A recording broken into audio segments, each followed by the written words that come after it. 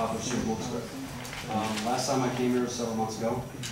Um, I came here and said to you guys, listen, I'm the voice of these streets because I deliver mail, I'm the mailman in the city, one of many, many mailmen in the city.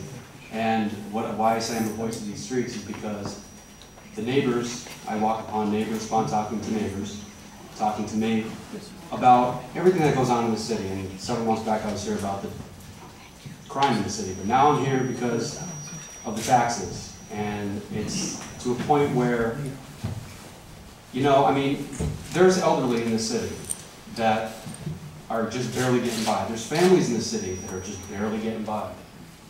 Yet this administration wants to raise the taxes again, and people are gonna be out of their homes. It's either pay my house or, or put food on my plate. I mean, that's what they're faced with. And it's, I think that's just unacceptable. I mean, if you raise the taxes again, Mayor, honest to God, like, you, you have a revenue, you think you're gonna get that revenue by raising taxes, more people will lose their houses, which means less revenue in the city. I'm just saying that doesn't make sense.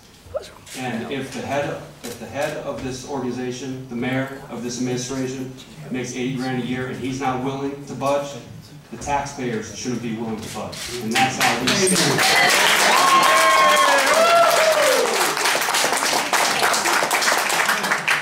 It's not fair. And I'm, I'm not knocking you guys for making the money you're making. You guys should be doing this for free. You can put me up there, I'll do it for free. Yes, If I was mayor of this city, forty grand a year, easy. I'd take a pay cut in a heartbeat. That's not fair, mayor, to sit there and raise everyone's taxes. Yeah, it's fine for you to make, to raise taxes and say that when he was pumping all that free oh, gas in your car. You can afford hundred and eighty-three dollars. I, I- you know what, I could too. I can afford that money too. But there's a lot of people in the city can't. And you raise taxes, they can't afford it. They're gonna be out on the streets.